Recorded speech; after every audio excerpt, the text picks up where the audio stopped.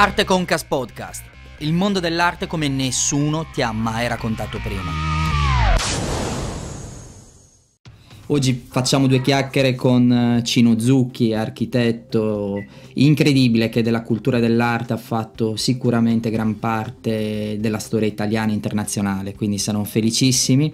Nel frattempo sarà con noi Fiorella Minervino, qualche secondino che inizia, iniziano ad arrivare tutti quanti e poi partiamo subito con, uh, con Cino. Quindi con le mani sporche, eh? Subito al lavoro. Per chiunque ci sia, poi chi apriremo poi lo stage, quindi chi vuole fare domande potrà salire. Eh, stiamo registrando per archivio, quindi chi sale su poi saprà eh, in tal caso di questa opportunità.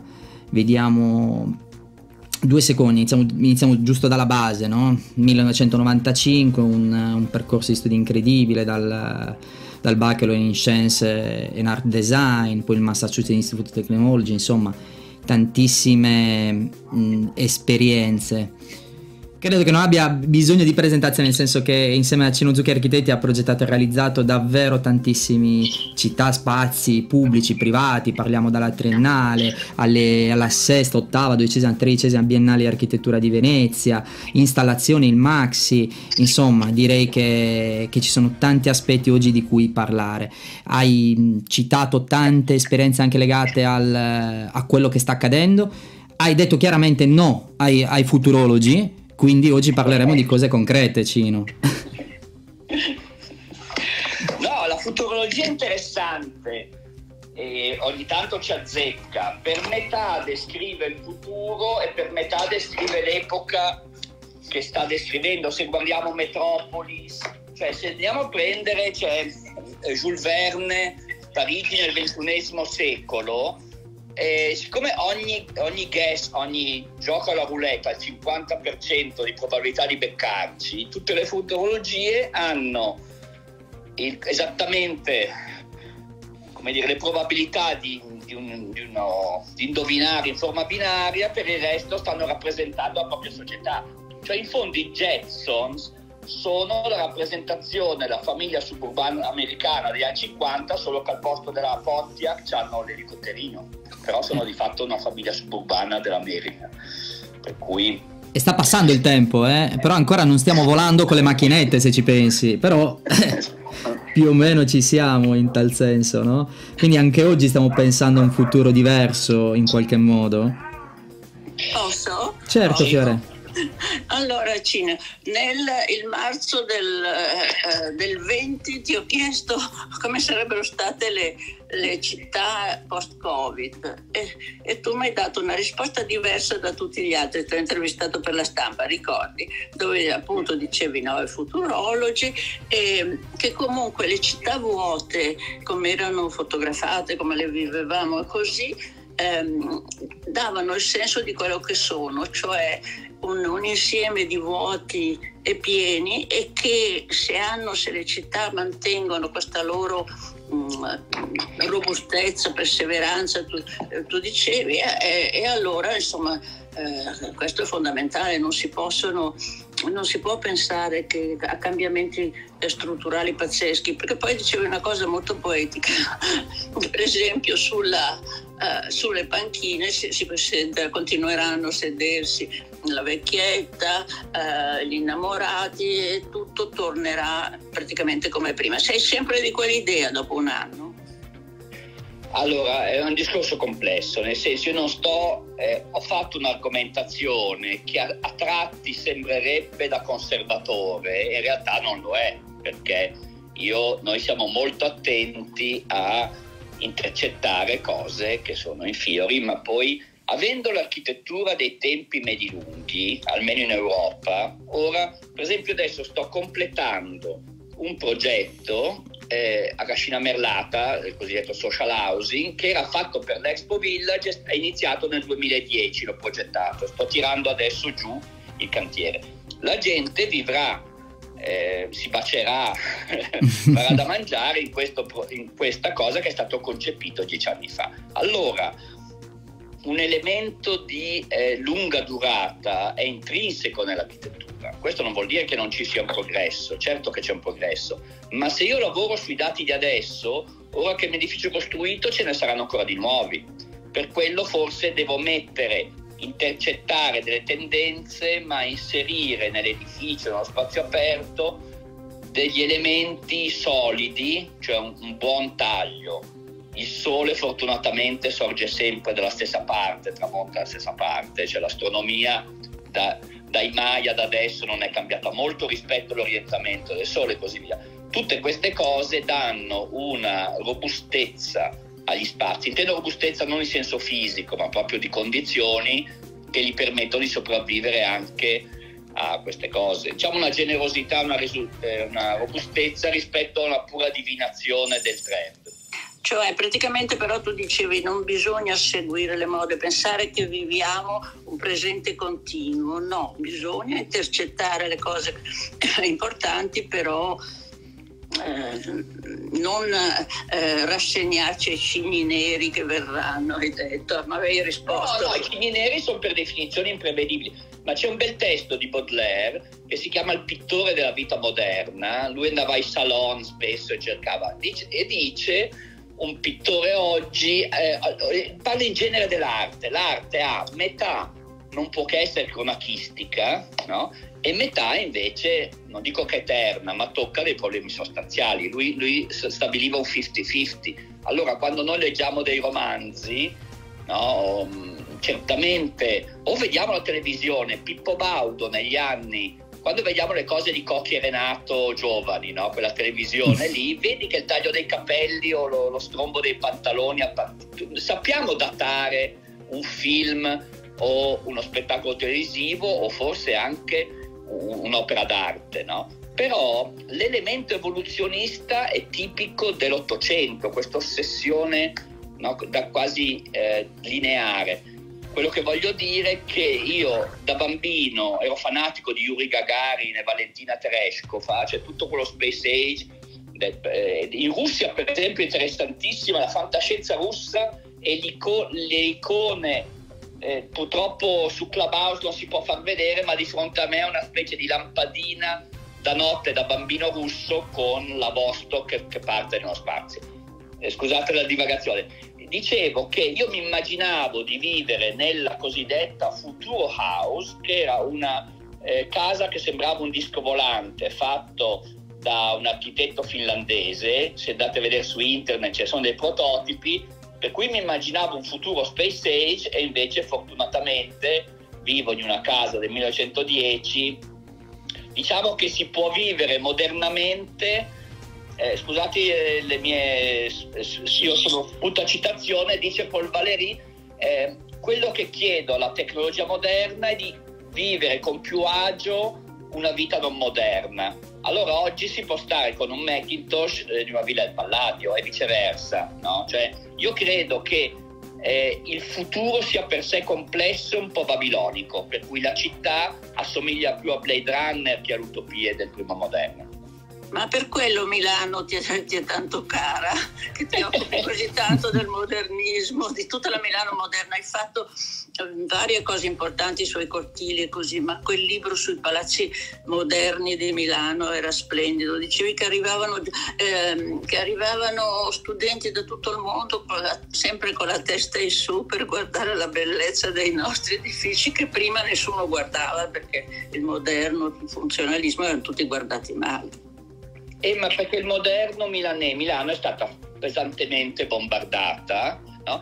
e, un po' a macchia di leopardo rispetto a Rotterdam o Dresda che li hanno ricostruite secondo un piano modernista, un po' le Corbusierian, no? con queste stecche separate. Io Dresda me la ricordo, prima che ricostruissero la, la cattedrale, era impressionante veramente, eh, sembrava. O anche Alexanderplatz a Berlino, si vede proprio l'incompatibilità genetica tra la città moderna, un po' da Lego, fatta di oggetti separati da strade, ma che non sono più strade, sono solo strade per le macchine, e invece la città antica. Se vediamo le viste del Bellotto, ci sono queste 8-9 quadri meravigliosi del Bellotto sulla Dresda barocca, capisci la differenza. Detto questo, Milano ha fatto una scelta di ricostruire, parlo del centro, ha fatto dei piani eh, dove c'è sì un'architettura moderna per linguaggio, ma dal punto di vista della forma urbana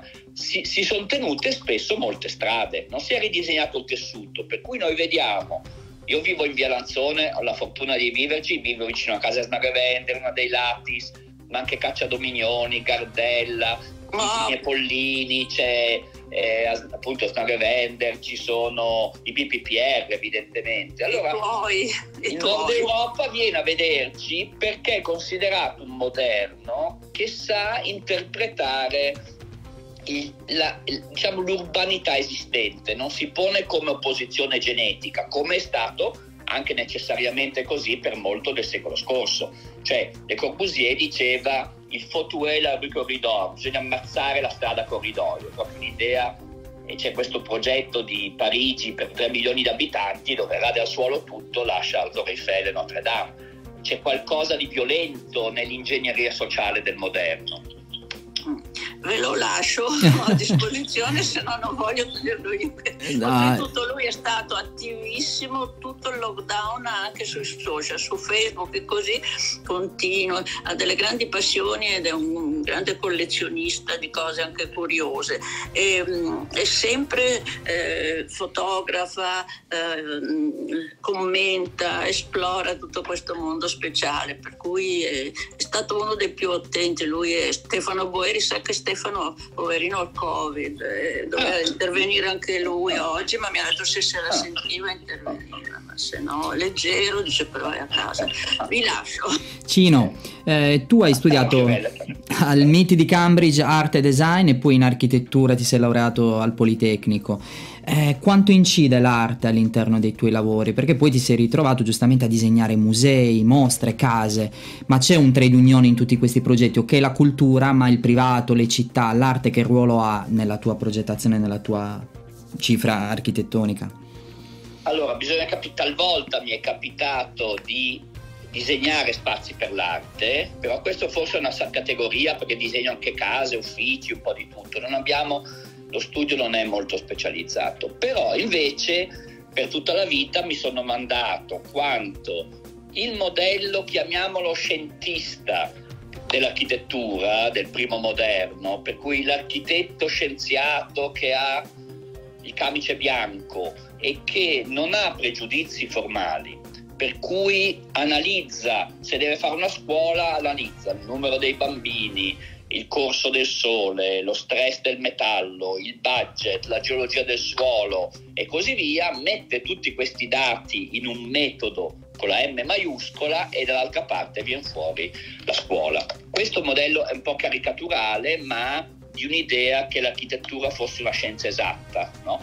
dove non esistevano pregiudizi formali eh, c'è quella famosa distinzione che Levi Strauss fa tra ingegnere e bricoleur nel pensiero selvaggio, dove lui dice l'ingegnere ha metodo e non forma, la forma è l'ultimo, mentre il bricoleur ha una scatola di oggetti conosciuti e li ricombina come fosse un Robinson Crusoe che fa, so, un, un riparo da, da, una chiglia di nave. Allora, eh, lui dice che l'arte è a metà tra l'ingegnere e il bricoleur. Tornando alla io non so se l'architettura sia un'arte, innanzitutto. Diciamo che lo è a metà, è forse un tema interessante. Non ha la libertà dell'arte pura, perché la gente vive, mm, diciamo, secondo me la casa è della persona che vi abita, non del suo autore. Quando io sono andato a visitare la pedrera di Gaudì, l'appartamento, Gaudì, quella che c'è, c'è questo tetto meraviglioso con i camini a forma di, di soldati medievali, ma dentro l'appartamento, pur meraviglioso, io non ci sarei mai vissuto, perché vivi nel cervello di Gaudì, in un certo senso. No? No, se hai la vecchia mobile della nonna, non me la sentirei mia. Questo parlo della casa. Finisco e dico solo una cosa sul tema delle procedure artistiche. Io sono un uomo di molti libri, molto anche anarchico dal punto di vista della, dell'educazione, ma ho scoperto in tarda età Paul Valéry non come poeta, perché è un mediocre poeta, ma come saggista maniacale e lui dice una cosa che secondo me è tra le più interessanti definizioni sintetiche dell'arte. No? Lui dice, dovunque c'è più la scelta possibile, dobbiamo chiamare un artista. La, è proprio dell'artista scegliere. E poi dice, l'artista è colui che sa trasformare l'arbitrio di una scelta iniziale nella necessità che emana un'opera conchiu- conclusa per quello che potremmo chiamare la consistency, la consistenza. Io credo che questo sia vero anche il nostro mestiere. Cioè, quando io adesso, oggi pomeriggio sono in studio, sono qui a pensare a un nuovo progetto. Evidentemente ho molta conoscenza sulle case, sui mattoni, cioè c'è tanta scienza sul corso del sole, però schizzo in libertà, no? E, e, sempre, scusate le tante citazioni, Fusli o Fuseli, inglesizzato, amico di William Blake, dice in arte molte cose belle si trovano per caso ma si conservano per scelta. Spesso succede anche a quelli che scegliamo che sia il nostro compagno. Io e mia moglie l'ho conosciuta alla festicciola di carnevale per puro caso. Allora, questo tema di eh, pensare in libertà con una cultura, ma per un momento eh, c'è una suspension of disbelief del gusto e dopo applicare, scegliendo delle ipotesi, in senso darwinista, la mutazione è casuale, ma poi interviene il survival of the fittest, cioè in un certo senso il mio metodo è estremamente darwiniano di approssimazioni successive, ma ci vuole un'intuizione iniziale che poi è falsificata. Questo è molto importante. È artistico, ma nel senso di Paul Valéry, non dell'artistello del pittore della domenica. Chiarissimo, ora uso io una tua citazione. Vorrei che la mia architettura fosse bella come una canzone di Belle Sebastiano come Toy Story 3. Ho pianto quando ho visto quei film perché la Pixar è in grado di realizzare un meraviglioso prodotto tecnico ma con molti livelli di compressione. Può piacere a un bambino di 4 anni ma anche a un adulto che ne ha 40 o anche a qualcuno che ne ha 61 come me. Quindi parliamo di accessibilità.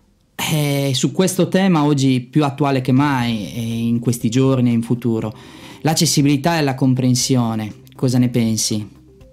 E allora diciamo che eh, l'architettura, sempre parlando, non seleziona il proprio pubblico. Nel Sant'Andrea di Mantova ci può entrare uno storico dell'arte tedesco-americano e parlare della divina proporzione. La sezione aurea, una signora che accende il cielo dicendo spero che mio figlio passi l'esame di composizione 2 con l'architetto Zucchi, professor Zucchi. Allora, eh, noi non scegliamo il pubblico.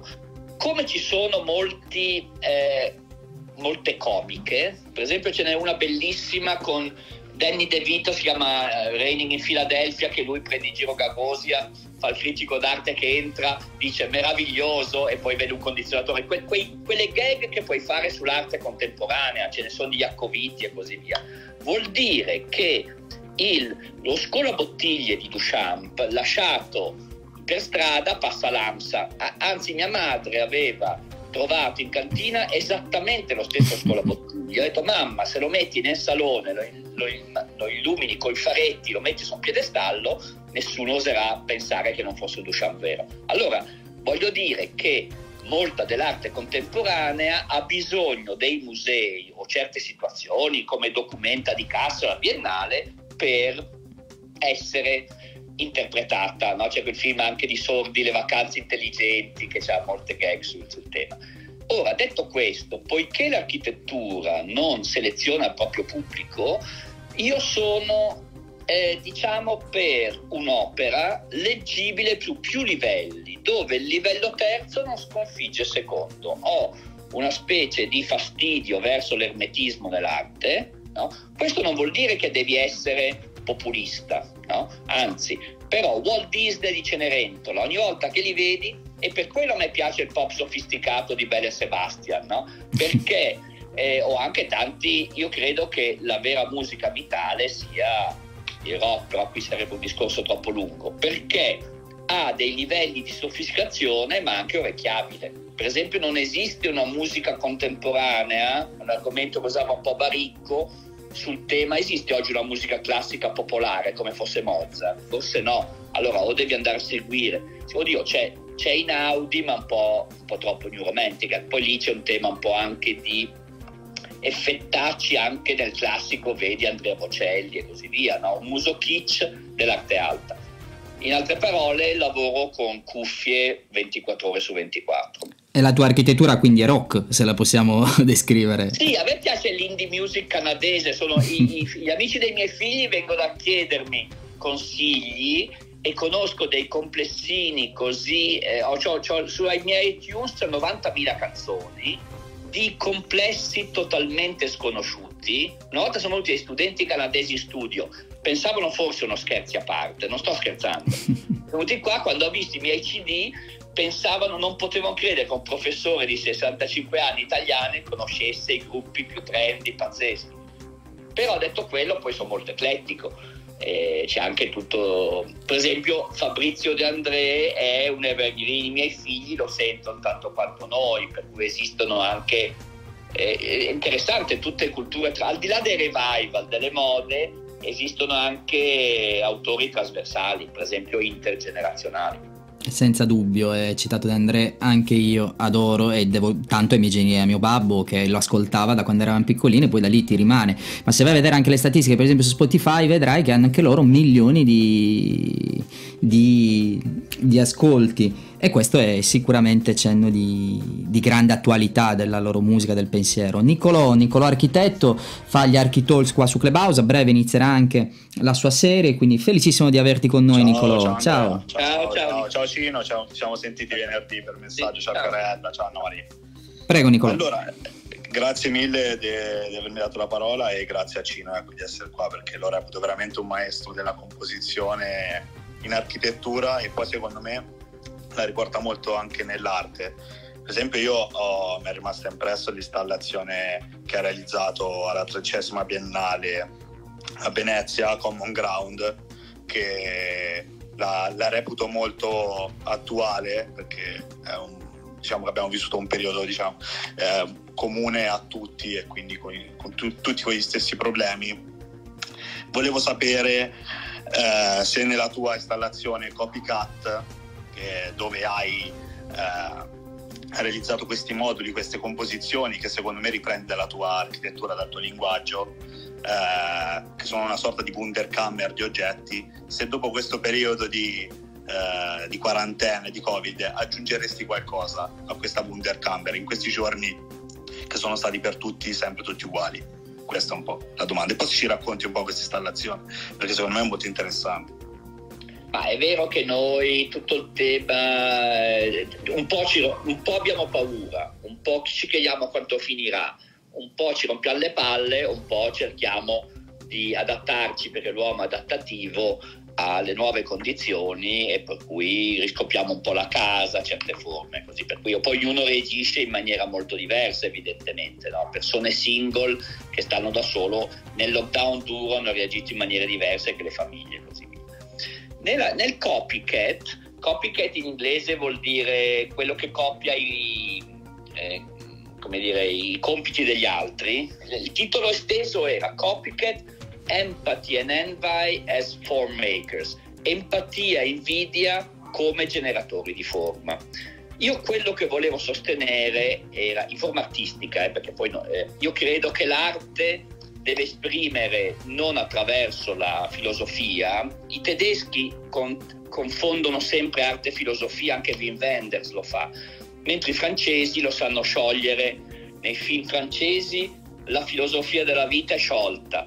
I tedeschi sempre fermano Thomas Mann, il dottor Faustus, la montagna incantata, ferma la scena e ti fa il pistolone nel dialogo di, di tre ore su, sulla cosa. No? Per cui a me piace dire le cose non in forma filosofica ma in forma artistica, per cui in forma empatica. Detto questo, il concetto sarebbe anche una teoria seria della, della formatività, che per esempio è quella di George Klubler di The Shape of Time, o anche per esempio c'è un bellissimo librettino di Fossillon, La vita delle forme, dove io credo che eh, se, anche se vogliamo la, la forma della tecnica. Per esempio, se voi andate sul mio Instagram adesso, eh, qualcuno mi ha preso un po' in giro sui miei sottomarini, c'è la mia collezione di sottomarini che avevo esposto proprio lì, che sono dei modellini.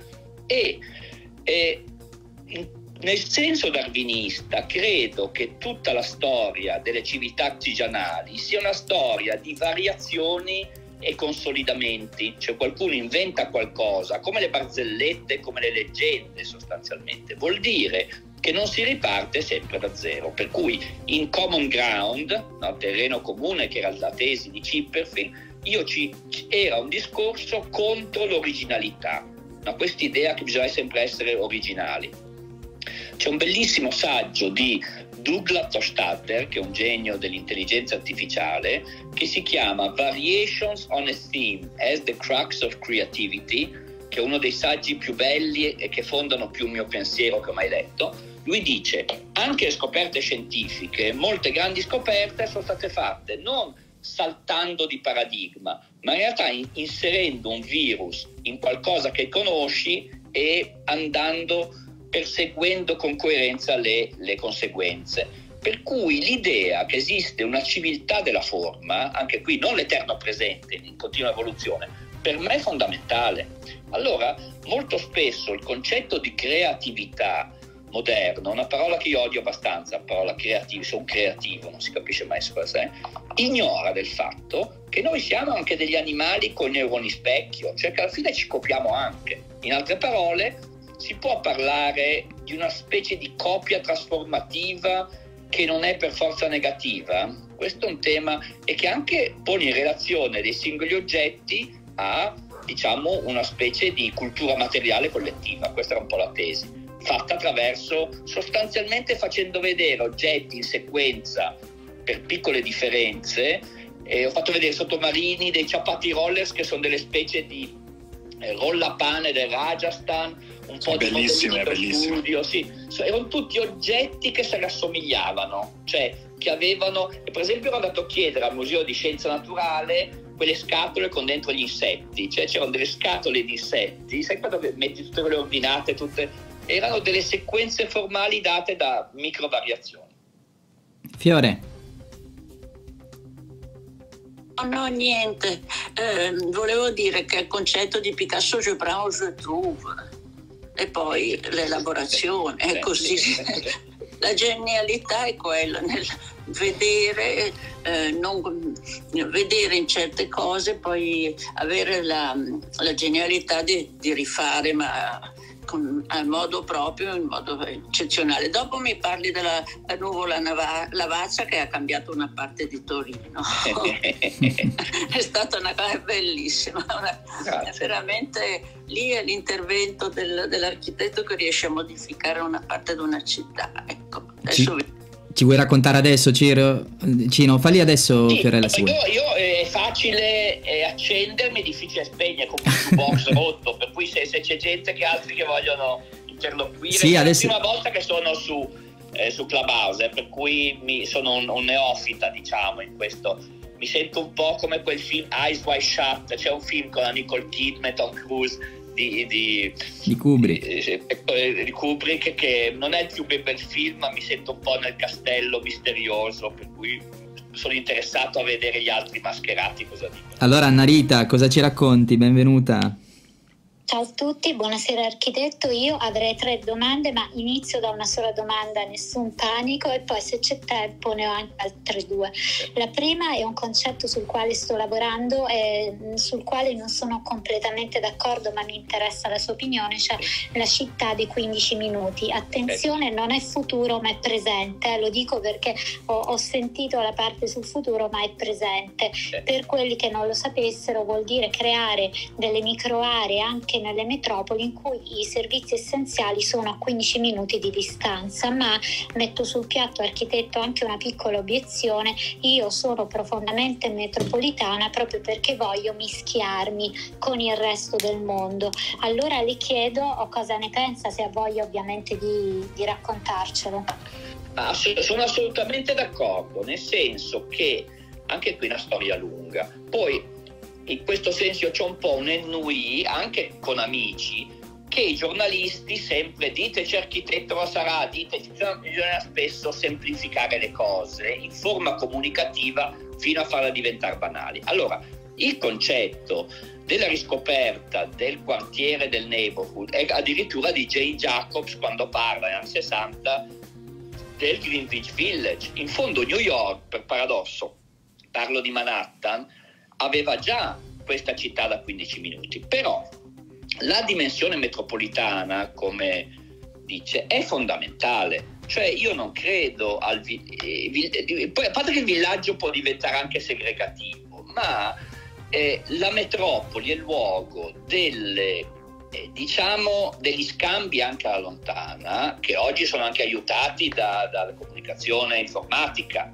Cioè io ho rapporti, non, diciamo così, non è detto che io sia più amico del mio vicino, anzi prima parlavo in studio quanto mi sta sulle balle vicino, del, non dico che piano perché dopo magari è un, un, un coso di... ma eh, e viceversa ho rapporti, tutti noi facciamo parte di un'isse mistica complessa, io sono il padre di Anna Zucchi, eh, scolare, sono più scolara, ma come dire, il professor Zucchi, il coso così, magari appartengo al club, che ne so, e tutto questo nella stessa persona. Allora, noi non possiamo pensare a una metropoli se non, per esempio, legata anche dei, dei mezzi di trasporto pubblici. E questo è anche un bene, perché a Parigi non è che il quartiere dell'Opéra è fatto tutti da melomani, il quartiere è la cosa di amanti. Io posso vivere di fronte alla scala senza essere mandato alla scala, non so come dire, no? E questo è un bene. Allora, secondo me, se si intende la città di 15 minuti come quel trovare certi tipi di servizi da neighborhood, oggi per esempio tutti i grandi supermercati hanno fatto, almeno a Milano è piena di una riduzione scalare del supermercato urbano e fanno dentro i 200-300 metri quadri, no? Cioè è, è come se Carrefour o l'Esselunga tornassero in città facendo un downsizing molto forte rispetto alla spesa suburbana uno torna a casa e fa la spesa, quello sono d'accordo, però ignorare la dimensione metropolitana secondo me è una sciocchezza e anche la ricchezza della città e in ogni caso alcuni servizi, ma sono addirittura di tipo globale. Io, io so, magari sono fortunato, però mi ricordo 3-4 anni fa che lavoravo in Olanda, prendevo il, la mia Vespa, andavo a Linate, lasciavo la Vespa nel parcheggio, l'ho fatto anche ieri, sono andato in realtà ad Andria e prendevo l'aereo andavo a Schiphol, Schiphol non entrava in Amsterdam perché è legata a una rete ferroviaria, prendevo un treno veloce direttamente all'aeroporto, andavo a Utrecht senza entrare in città, a Utrecht prendevo un tram, andavo a lavorare, facevo lo stesso percorso indietro e non sto scherzando. Tornavo a cena, mia moglie è una che cucina bene, col risotto ai funghi. Cioè facevo il pendolare giornaliero secondo questa sequenza invertita è una dimensione anche esistenziale quella, come si fa a pensare che non sia? Per cui l'Europa è anche un grande paesone, adesso poi dipende da singole persone dove vivono, per cui eh, possiamo mischiare dimensione metropolitana e dimensione, eh, dimensione da piccolo paese, sono d'accordo con lei. Grazie, dopo nel caso altre due, ma solo se c'è tempo. Sì, non ti preoccupare Anna, le facciamo subito. Roberto, ciao, prego. Eh, buonasera, buonasera professore, grazie di quanto ci sta raccontando. Senta, le faccio una domanda eh, per un amico, si dice, no? Ma sì. scherzi a parte. Perdone, ma scherzi a parte è vero perché è proprio un amico che insiste su questa domanda e quindi io gliela rigiro. Eh, professore, esiste ancora l'urbanistica? Non dico tanto come assessorato regolamenti che poi sì, affondano, no? Ma esiste ancora un progettare urbanistic, di urbanistica o solo lottizzazioni, piani di zona o cose del genere? E, e sono tutte domande da 100 pepitoni, aiuto. Allora, eh, allora grazie. È, questa è una domanda difficile. C'era uno scienziato che diceva: Non sono io a parlare difficile, sono difficili le cose di cui stavo parlando, per cui mi scuso, della, è una scusante per la logorea. Allora, diciamo così, eh, l'urbanistica c'è sempre stata, dai tempi di Sisto V, quando ha fatto le, le grandi rettifili a Roma ai tempi dei Longobardi, no? come dire così.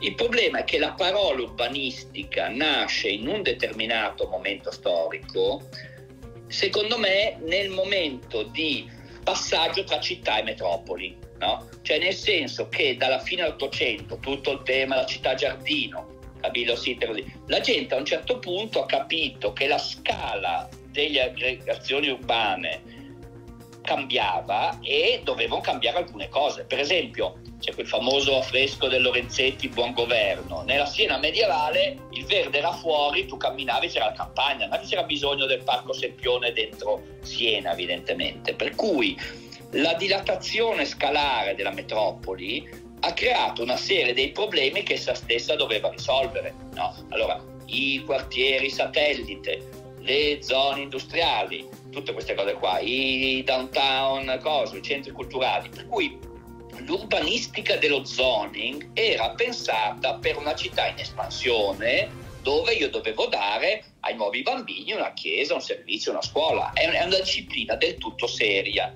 ma è di una panificazione espansiva. Noi siamo oggi forse nel secolo della modificazione a città, almeno in Europa, eh, perché in Cina costruiscono città da 30 milioni di abitanti 5-6 anni, una roba è impressionante, eh. la Cina è un, altro, è un altro mondo. Parliamo dell'Europa adesso. Allora, questo tema della metamorfosi, che poi alcuni chiamano rigenerazione e così via, è fondamentale e c'è un tema anche di rapporto pubblico-privato, cioè nel 1890 eh, so, il cimitero monumentale, il cimitero maggiore, il macello, il parco erano costruiti dal pubblico, cioè non dimentichiamo che il pubblico costruiva le grandi infrastrutture, non solo viarie, ma anche proprio di uso, le scuole, gli istituti, così via. Adesso il pubblico ha molti meno soldi, per cui deve cercare di negoziare col privato e questa è una cosa anche positiva. Io lavorando anche un po' in Olanda è molto interessante, no? come, è come se dovessi fare una roba zen di usare. Poi ci sono città che lo sanno fare meglio, per cui c'è stata in certi momenti di Milano la svendita al privato, cioè come dire noi non sappiamo più cosa fare, te ti do tutto a te. L'altro è un tema di collaborazione dialettica e però faccio un solo esempio. La Fondazione Prada è successa lì, ma poteva succedere in qualsiasi altro punto di Milano, nel senso che a Aguzzo di Miuccia Prada poteva comprare una fabbrica dismessa, ce n'era tante, e a questo punto non è, contraddice completamente il modello pianificatorio da piano quinquennale. No? Se pensiamo ai piani regolatori degli anni Ottanta, dicevano la città deve andare di là, piuttosto che devo andare di là, piuttosto che su, piuttosto che giù, si discuteva sul modello a turbina, il modello a doppia T, c'era Gigi Mazza, De Carlo, adesso senza entrare in cose disciplinari, e come dice John Lennon, la vita è quella cosa che succede mentre stai lì a fare i piani per la vita, ogni tanto a viene da dire la città è quella cosa che succede mentre stai lì a fare i piani alla città. Questo non vuol dire che io non credo, anzi ci credo profondamente che il pubblico debba pianificare, ma le forme di questa pianificazione, almeno nel nostro sistema politico e nel nostro sistema economico, non sono più di quella natura. No? E che una volta che c'è la Fondazione Prada, ecco che lì, per paradosso, tutti si sono accorti dello scalo di Porta Romana. Non è solo, sono, sono situazioni sinergiche, però è un grumo di qualità che genera un'attenzione su quel quartiere e funziona un po' al contrario e questo, questo è un fenomeno da guardare, no? nel senso che, eh, non so se ho risposto, poi, eh, sì, non sì, credo certo. alla pianificazione, ma non credo neanche all'SFR. Certamente certo, c'è stato dei momenti, come dire, noi non siamo capaci, a lei arriva qualcuno con dei soldi, fate voi. Eh, per cui ogni tanto il, pu- il pubblico deve sapere esprimere obiettivi chiari eh, per il bene pubblico e giocare un po' di deviazione rispetto cioè, eh, il problema è fare un gioco a carte scoperte eh, tutti devono saper fare il loro mestiere senza un modello Don Camillo Peppone no? cioè il capitalista la Groz col, col cappello con sul dollarone e il pubblico così io credo che negli ultimi eh, 15-20 anni a Milano, non, non, è tutto assolutamente c'è stata un'evoluzione molto forte sia da parte pubblica sia da parte privata, cioè eh, diciamo, il punto più basso sono stati gli anni Ottanta, infatti ne vediamo ancora gli esiti. Eh. Allora dico, forse non, non, non, è stato tutto perfetto, ma eh, ecco, un ultimo tema, un tema che secondo me ancora è molto importante e non è pensato ancora bene è quello delle infrastrutture di trasporto. Cioè c'è un tecnicismo ancora nella metropolitana Io adesso sono in micro polemica con le stazioni a metropolitana a Sant'Ambrogio lì e a San Lorenzo, ma non si può fare delle cose così sciatte che viene su con l'ascensore dove capita cado, coio coio. Allora, secondo me, sia per le ferrovie e sia per le metropolitane, se vai al nord Europa, una stazione è un elemento d'uscita, un elemento urbano. Se vedi la stazione di Bovisa vicino al Politecnico è, non, si può, non si può vedere, cioè sono dei crimini contro l'umanità degli anni Ottanta, perché è un pensiero tutto tecnocratico. Allora, i punti di passaggio tra l'infrastruttura, eh, diciamo di trasporto specialmente pubblico e la città, l'urbanità, perché sono dei punti fondamentali. L'Italia è ancora un po' indietro. Bene, posso tranquillizzare il mio amico che non esiste più l'urbanistica in, in pratica. grazie infinite, professore, grazie. Cino. Prego Fiore, prego. Eh, eh, Cino, verso il 2005 sono andata a parlare con l'ingegnere che si occupa della progettazione di New York e gli avevo chiesto se, che cosa prevedeva per il futuro, per, per gli anni 10, 20 e così detto è impossibile progettare una zona di New York. Noi pensavamo prima che con Soho eh, sarebbero rimasti lì, c'erano prima gli artisti, poi sono arrivati gli stilisti, la moda, tutte queste cose, gli artisti vanno via, e artisti, architetti, fotografi, eccetera, e si sono spostati tutti. Eh, in altri luoghi. Però noi abbiamo sempre pensato che poi lo spostamento sarebbe stato eh, procedendo di lì, invece sono andati nel Queens. Per cui non è progettabile niente, che è un po' il discorso che dici tu, no?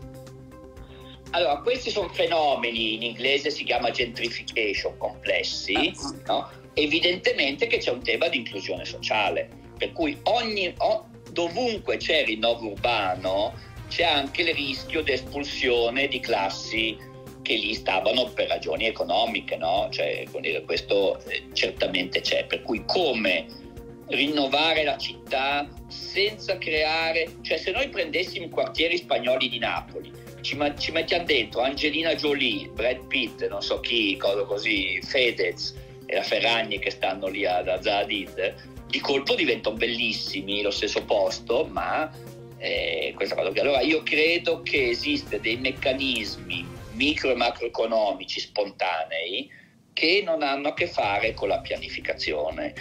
Però questo è una città consolidata.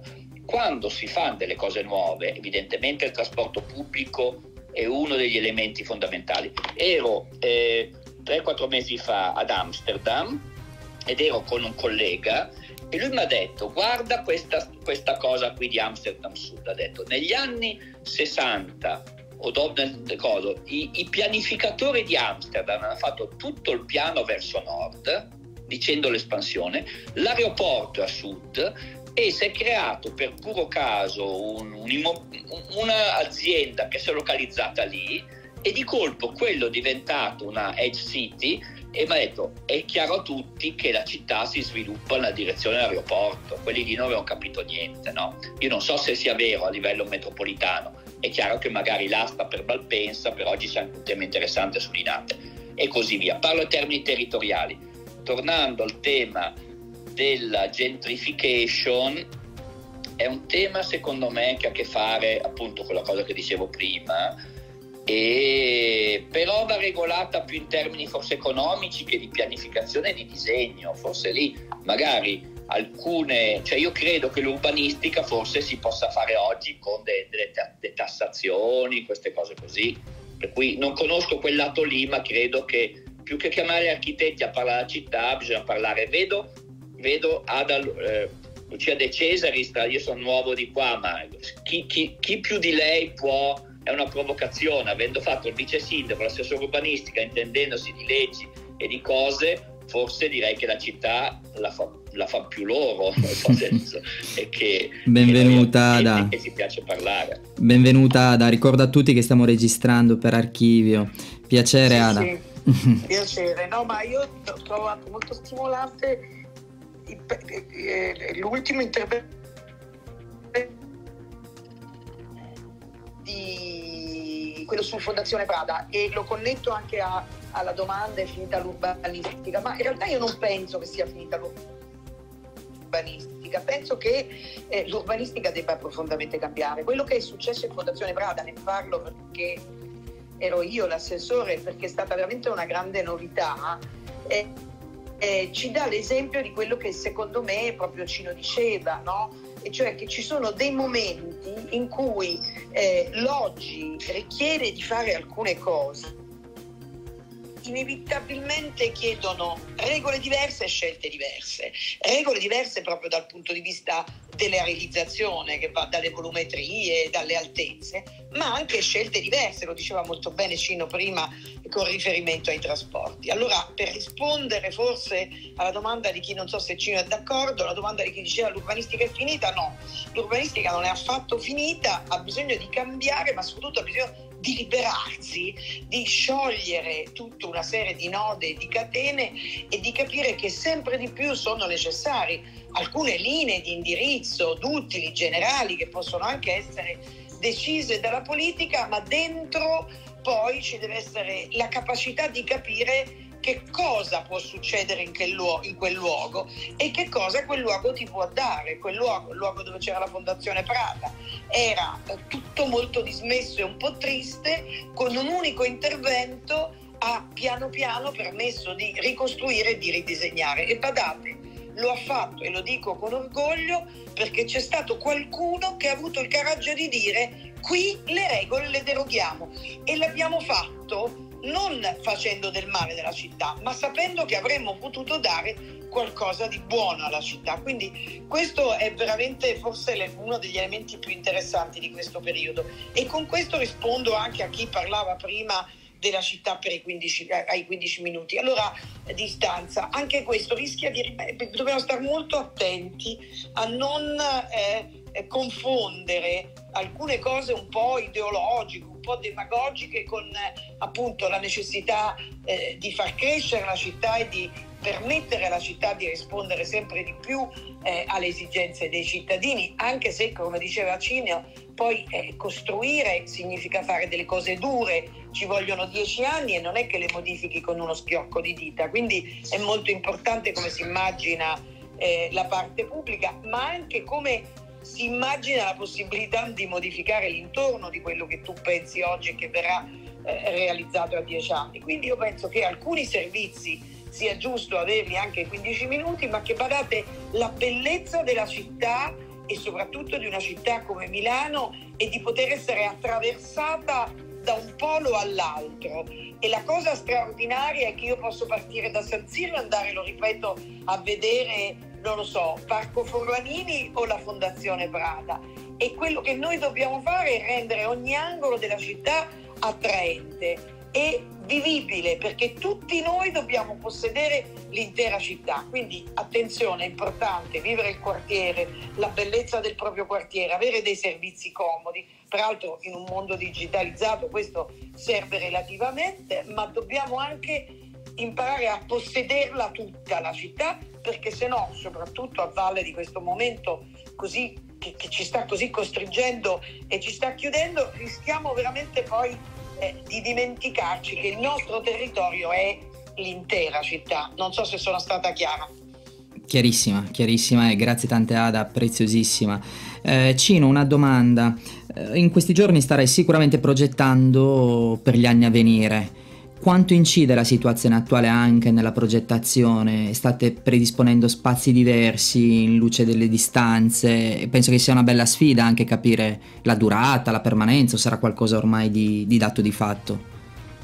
Ma provo a rispondere trasversalmente per andare anche a quello che aveva chiesto Fiorella sulla Lavazza, senza far pubblicità redazionale. Però Giuseppe Lavazza mi ha chiamato mi ha detto Cino, non sai quanto ha funzionato bene l'atrio che tu hai fatto durante il Covid, perché noi avevamo dei sistemi di controllo, di accesso ai posti molto comodo e la generosità di questo spazio, naturalmente anche potersi permettere, ho fatto un atrio molto passante che ha dei sistemi di controllo per andare agli uffici, ma in realtà tutti possono andare dentro, c'è la messa, c'è, c'è uno sfiato per esempio verde. Diciamo che una cosa progettata prima del Covid si è rivelata funzionare molto bene per questo tema che dicevo prima della generosità.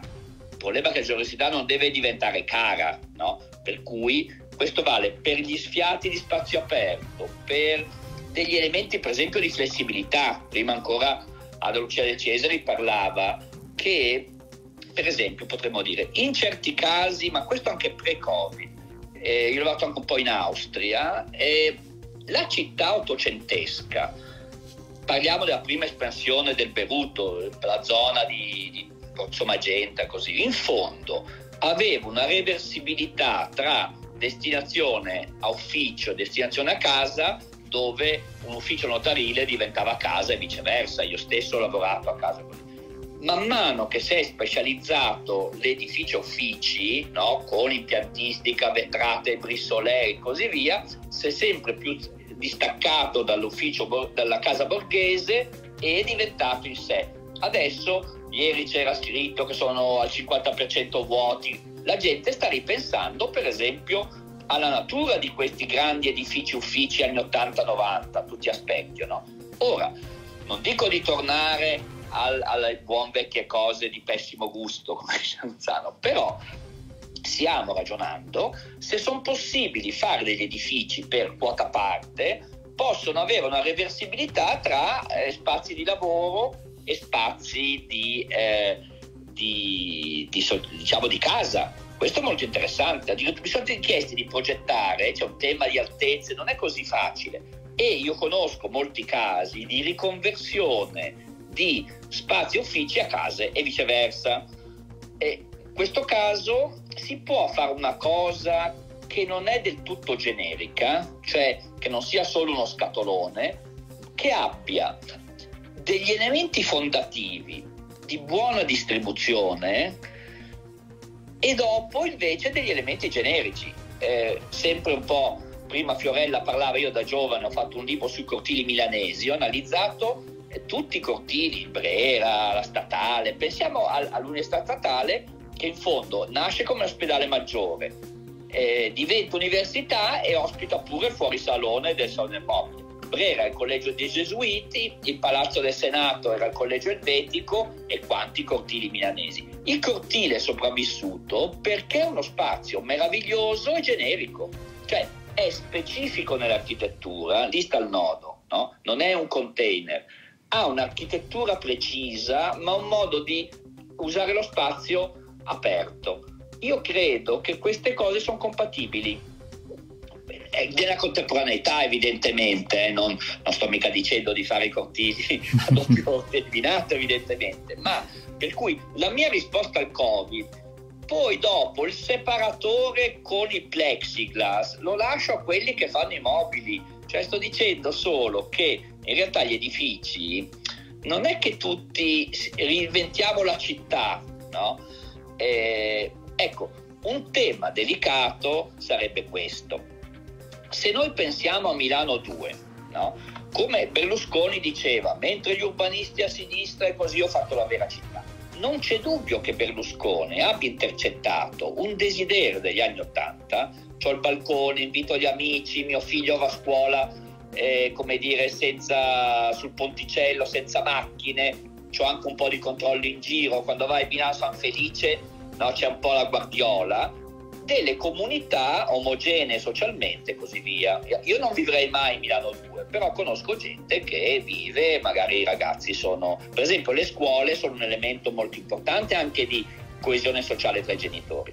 Non arrivo a dire quello, potrebbe darsi che la via di mezzo, che certe forme di controllo, un po' di fobia sociale, che, che rimarranno un po', non sto rivalutando quello, ma per paradosso certe comunità, per esempio ho scoperto che Milano 3 ha una comunità coreana molto grande perché certi modelli non nel centro città di controllo di cose così, per cui il tema della diciamo dell'immigrazione, come il centro di Torino negli anni 80-90 era tutto eh, di immigrati, i ricchi si erano spostati tutte sulle colline. Così è molto interessante vedere come ondate eh, di immigrazione dai customs molto diversi riusano una città esistente. Questo è un altro tema che faremo. Il, per esempio a Milano certamente eh, Paolo Sarpi e Chinatown sarebbe da studiare come microurbanistica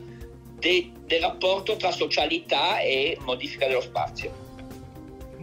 Grazie. Daniele, benvenuto. Tu che anche tu a vostro modo con gli spazi lavorate quotidianamente, state pensando a nuovi modelli. Ciao, ciao Andrea, ciao Cino. Ciao. Eh, sto tornando in auto con la famiglia che dorme tutta quanta, per cui ho sentito Cino che è sempre un grande.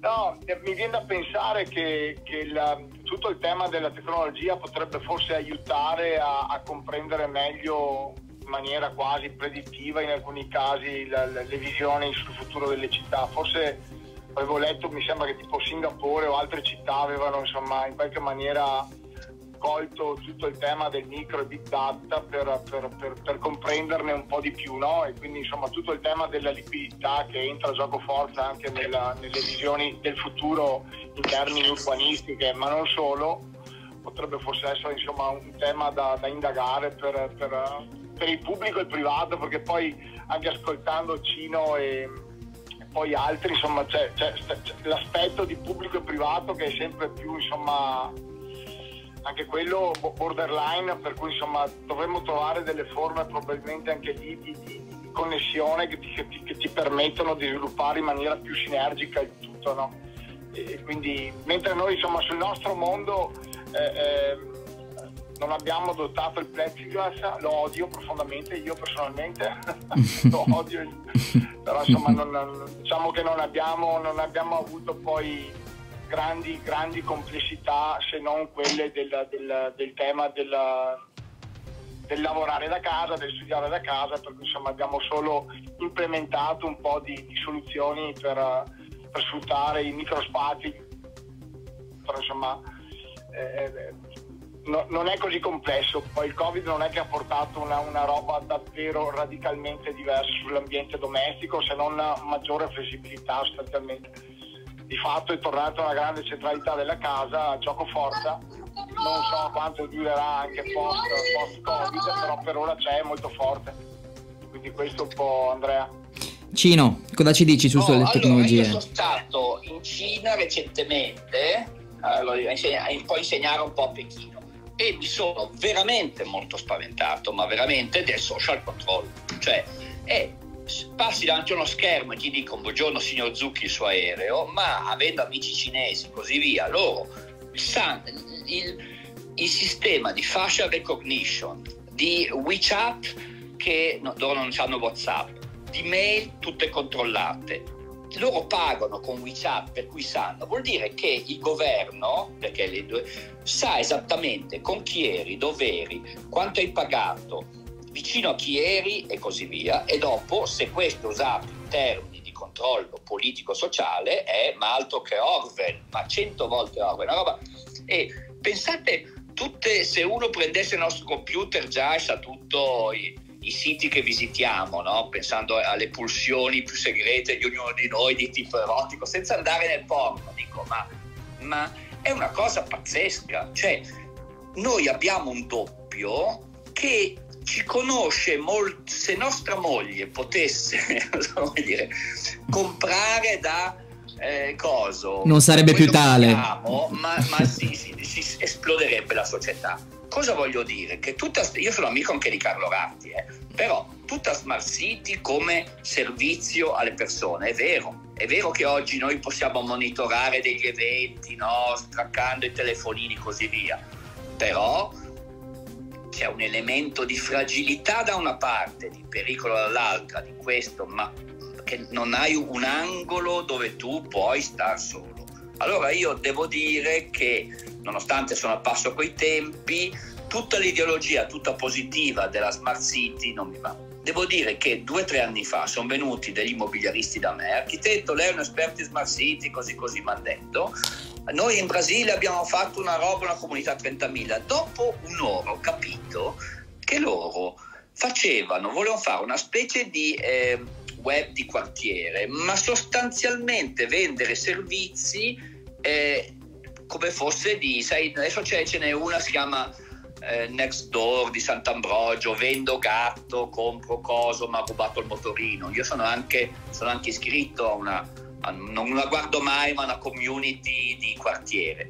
Ci sono degli elementi interessanti, no? anche un piccolo annuncio, però l'elemento di controllo è inquietante. Allora il problema è e, e, durante il Covid molti temi di controllo sociale legato eh, proprio molto, io, no, eh, io ero in, non so se ha funzionato molto in quelle, chiama la, quella app lì, l'ho scaricata subito, però c'è molta gente che tende a resistere no, a queste cose. Il problema è in che momento diventa davvero controllata. Adesso in Europa è controllato per ragioni economiche, no? ti arrivano, parli dell'Uzbekistan e ti arriva e poi ti ascoltano, eh, e ti arriva subito la pubblicità dell'Uzbekistan di cosa. Quando fosse usata a fini eh, politici eh, fa un po' paura, per cui io su sta Smart City, ma stiamoci un attimo attenti, cioè il problema sono gli elementi di difesa della persona. Credo che sia anche questa una tematica importantissima e se Singapore ha vinto come smart city o meglio nelle classifiche risulta quella più indicizzata la Cina è il chiaro esempio sarei curioso di chiedere ad Ada cosa pensa su questo controllo dei big data anche dal punto di vista di, di sviluppo politico e, e sicuramente di, atti, di attività Ada ci sei? Io su questo sono, sono laica. Allora, sono abbastanza d'accordo con Cino che eh, cioè Smart City in realtà è come dire non so che bella giornata è oggi, no? dipende da che cosa ci vogliamo mettere dentro. Penso eh, che noi dobbia, dobbiamo chiederci come può essere la città migliore a servizio dei cittadini, eh, più agile, più svelta, e più sostenibile, dove anche sostenibile eh, insomma, deve poi avere un suo, un suo, contenuto che è legato alla qualità, alla possibilità di avere bellezza, eh, alla possibilità anche di avere verde, ma appunto ricordandoci che è una città. Allora in tutto questo eh, noi possiamo sicuramente avere come dire, eh, un, una città capace eh, di darci dei servizi molto innovativi, e anche di, di, di darci delle informazioni no? a tempo reale. Ma ripeto, tutto questo per i servizi di base e purché non sostituisca la nostra vita, cioè nulla può sostituire una passeggiata da casa mia fino a casa vicino, nulla può eh, sostituire il fatto che io alzo gli occhi e guardo la mia pianta, questa pianta che, che è cresciuta in mezzo all'asfalto e che fiorisce ogni anno e che è straordinariamente bella all'interno di una città costruita. Ecco, nulla eh, mi può eh, impedire di avere un rapporto eh, reale e umano con la città. Quindi secondo me questa cosa delle smart working, eh, scusate, delle smart city, eh, che comunque va spiegata meglio perché appunto è un po' come eh, no, eh, quanto è bella questa giornata, no? cioè, cioè proprio, la, può essere banalissima questa, questa nozione. Ecco, secondo me bisogna capire che cosa significa. Certo che mi piace che, che, che le macchine diventino elettriche, che ci sia meno inquinamento, eccetera però ripeto, mi piace anche una città che, che, che riparta da me, dai, dai, noi umani, dai rapporti, dal fatto che ci parliamo, che ci fermiamo, ci prendiamo, che ci prendiamo un caffè, che incontro la vicina e le chiedo come sta. Ecco, ecco quindi vorrei che tutto questo fosse eh, contemperato, però credo di essere stata un po' confusa, però insomma ecco, la Smart City non è proprio il mio tema. Ok, Anna, volevi intervenire e poi diamo la parola a Flavia. Sì, io non volevo interrompervi prima, volevo intervenire sul discorso Fondazione Prada, mi sembra importante, non so se l'architetto è d'accordo, Andrea, Fiorella, se siete d'accordo, eh, ricordare che poi c'è stata anche l'esperienza ICA, quindi siamo passati dal grande investimento del grandissimo nome, tra l'altro ho venuto benissimo, Fondazione Prada è uno dei miei luoghi preferiti al mondo, e a creare un polo del contemporaneo con ICA, quindi è veramente interessante come sviluppo culturale della città. Cino, se vuoi dire qualcosa, se no Flavia.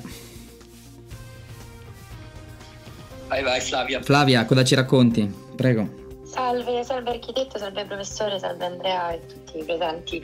Io sono una studentessa di architettura e ho studiato a Roma, adesso mi trasferirò a Milano per completare gli studi facendo la magistrale e approfitto del contesto informale insomma, di avere qua presente il professore per fare una domanda che non lo so, un po' il dubbio esistenziale di tutti gli architetti, cioè insomma futuri architetti. Um, secondo lei qual è, cioè in poche, pochi punti diciamo, um, le sfide che noi ci troveremo ad affrontare. Cioè adesso un po' ne stavamo parlando, ovviamente il tema del Covid influenzerà magari la nostra futura progettazione, il tema della tecnologia, delle smart city, la sostenibilità, però secondo lei quali sono altre tematiche che sicuramente noi ci troveremo ad affrontare e che diventeranno eh, diciamo tematiche quotidiane che affronteremo nel progetto? Allora, sempre proviamo a mettere. Eh, eh, faccio, sono ironico, mi prenda in forma. Eh, se mi scherzo, ho avuto la fortuna tre giorni fa di avere Guido Catalano, che secondo me è uno dei più grandi poeti viventi, è molto ironico, ma è un genio, secondo me. Ho, ho pubblicato una sua poesia che si chiama Il poeta, che dice, lo cito quasi a memoria. Eh, non è così difficile fare il poeta, perché il poeta, signori, deve fare una cosa, sedersi, mettersi comodo e scrivere una bella. Perché il taxista cosa fa? Guida. Il, il baratonetta cosa fa? Cosa? Il sarto cuce e il medico cura. E poi arriva il poeta che arriva da lontano e tu dai una poesia molto lunga, scarmigliato e ti spiega, ti giustifica e ti clona e cose così e va avanti per ora un tormentone, no? Così. E alla fine dice, eh, te ne leggo una delle mie? Sì, eh, e, e, e, 9, 9, su 10 è una martellata nelle palle, perché sarebbe, cioè prendi in giro i poeti che parlano di tutto meno che cosa. Un po' il rischio gli architetti ce l'hanno. Io non sto dicendo, c'è un libro degli anni 30 che c'è il progetto La casa del sabato degli sposi. Allora, non sto ma neanche morto, pensando che l'architetto deve tornare a essere un decoratore, uno che fa la casetta, ma ultimamente mi sembra che gli architetti più e più e più e più, se non parlano di salvare il mondo e adesso poi l'impegno sociale, è tutto un millantamento di cose che dopo tu vedi il progetto non è così diverso da quello che c'erano già, è come se ci diventato un cliché come dire il mio film è politico, sì ma poi c'è Ken Loach e c'è un brutto film politico, non è che eh, come dire, dire un film politico dice niente sulla qualità. Questo rapporto anche con i media. Perché? Perché un giornalista non è un critico d'arte, non ha veramente strumenti, non, non dico conoscitivi, di parlare, cioè un quadro di Morandi o di De Pisis ha pochi argomenti, no? C'era un architetto che diceva, oh Giorgio, sei sempre lì a fare bottiglie dal punto di vista dell'arte, magari un Cézanne o un Morandi sono più importanti di un quadro di un Pompier eh, che, che, fa la battaglia di, di cosa, no? Allora, non sto sostenendo in alcune maniere l'art pour l'art o l'architecture per l'architettura, ma è diventato quasi un kitsch che gli architetti sono i salvatori del mondo. Sono tutti meno che quello che sanno fare, no? Allora c'è una via di mezzo, cioè in altre parole, io credo assolutamente che noi dobbiamo tematizzare non so, non so, a me non è mai piaciuta l'idea tedesca della Weltanschauung, della visione del mondo. Cioè io credo che in ogni momento persone diverse lavorino sulla propria disciplina e come cittadini sono coscienti di queste trasformazioni e l'insieme di questa cosa genera il mondo, non c'è una visione del mondo che poi diventa architettura, arte, musica. Io non credo. La musica barocca è molto diversa dall'arte barocca o dall'architettura barocca. Quest'idea che esiste un'unità è un'idea, secondo me, semplificata. Ci sono dei momenti che alcune arti sono avanti agli altri. Tornando a cosa deve fare uno studente architettura io credo che oggi noi, almeno la mia generazione, è stata educata come con un architetto demiurgo, no? che faceva... C'è questo film sul romanzo di Ayn Rand che si chiama The, The Fountainhead, in italiano La fonte meravigliosa, che prende l'architetto, un degli anni 50-60 sull'architetto come sfida del mondo, non, non, lo spiego ma è da andare a vedere con Gregory Peck, non mi ricordo, Clark Gable, un, un attore efficacione. Ecco, detto ciò, allora, eh, l'architetto oggi è un regista o un decoratore, cioè i processi oggi che producono l'architettura sono molto più complessi e hanno figure e il, il, il BIM manager e quello della sicurezza e quello e l'altro su così, gli avvocati e così via, che alla fine l'architetto non è l'unico. No? Leonardo disegnava tutto, disegnava da, dagli ingranaggi ai costumi per le feste a, alle città, mentre oggi noi siamo un pezzo. Allora, la domanda è, in una catena di montaggio regolata da un project manager, noi siamo il cuoco alla fine che mette la panna montata? Alcuni architetti lo fanno, stanno sostanzialmente caratterizzando, mettendo una tovaglia colorata sopra un prodotto di ingegneria, in questo caso immobiliare e così via, che non hanno fatto loro. Per esempio sulle tipologie abitative il mercato degli immobiliaristi crede di sapere tutto in un certo senso, non accetta grandi innovazioni, no? per cui finisce a fare le facciate, diciamo così. È una cosa che diceva Gregotti nella sua forma un po' trombona, Gregotti dice molti miei colleghi sostanzialmente hanno accettato di essere totalmente sovrastrutturali. Questo un po' è vero in parte, anche se lui ogni tanto un po' così, però c'è un fondo di verità. L'altro è, siamo dei registi, come un regista deve saperne un po' di fotografia, della psicologia degli attori, di arte e così via, ma non poi si avvale il direttore di fotografia, può darsi anche che un altro modello è un architetto un po' regista che ne sa abbastanza di, di impiantistica, di cose, di urbanistica, da fare un po', tenere un po' insieme le cose. In ogni caso, la nostra disciplina tiene insieme cose completamente diverse. Io nel fare la vazza, per tornare a quello che diceva Fiorella, io parlavo con la soprintendente e diceva la porta qui non la apri. Andavo al vigile fuoco e diceva se non mi apri la porta qui non mi passo. Andiamo a cosa è fuori budget. Poi c'era la Dora che sondava se non faccio operatia. Ero un negoziatore continuo dove per rispondere a ogni singola cosa sarebbe stato facile. Il problema è che tutte queste singole cose, viste da punti di vista locali, erano in totale contraddizione tra di loro.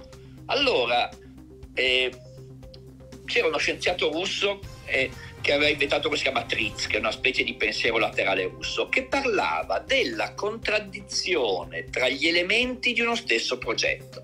Noi dobbiamo gestire le contraddizioni tra il progetto e il resto del mondo, ma anche le contraddizioni dentro il progetto.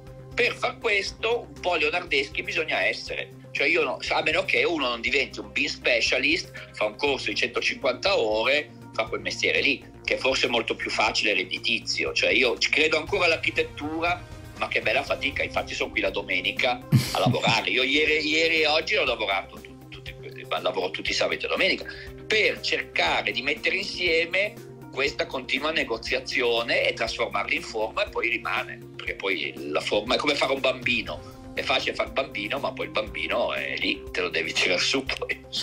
Grazie tante Cino, noi siamo andati già eh, oltre il tempo a tua disposizione, sei stato gentilissimo e, e, non possiamo che ringraziarti. Se qualcuno voleva fare l'ultima domanda, se Fiorella voleva dire qualcosa, se no andiamo verso i saluti. No, io volevo ringraziare Cino, grazie Cino per essere venuto e poi sempre disponibile, sempre, come tutta la tua famiglia, devo dire, anche tuo nonno che era molto amico di mio padre. mio nonno patafisico, c'ho il libro, ha scritto un libro, si chiamava L'uomo patafisico extralucido, grande uomo, mio nonno Straordinario. Io penso il sarcasmo che ho talvolta, forse l'ho preso da mio nonno, sì, che è un uomo intelligente e sarcastico. Diciamo. Ave- avevano una società che si chiamava Sempre insieme, mai d'accordo e si vedevano una volta alla settimana per mangiare, delle, fare delle, dei pranzi colossali tra loro. Questo era il nonno e mio papà. Grazie Cino. Grazie, grazie a tutti, grazie Andrea a tutti. Ciao. Grazie, grazie a te di cuore, a nome di Club Italia. È stato bellissimo, un contributo. Torna, torna. Ti aspettiamo. Torna, torna. ciao Ada, ciao Flavia. Sono... Grazie Cino. Arrivederci, grazie. Buona serata allora. Noi ci vediamo più tardi alle 21 parleremo di giornalismo e cultura con Anna Rita Briganti, Fiorella, Natalina Bush, insomma, tantissime eletta e bella tematica anche questa. Ci vediamo più tardi, grazie, vi auguro una buona domenica. Grazie. Ciao A Ciro. dopo. Arrivederci. Se quello che hai sentito ti è piaciuto, non perdere l'occasione di continuare ad ascoltare Arte Concast Podcast su Spotify, iTunes e gli assistenti vocali, Amazon Alexa e Google Assistant. Che cosa aspetti? Il mondo dell'arte come nessuno ti ha mai raccontato prima.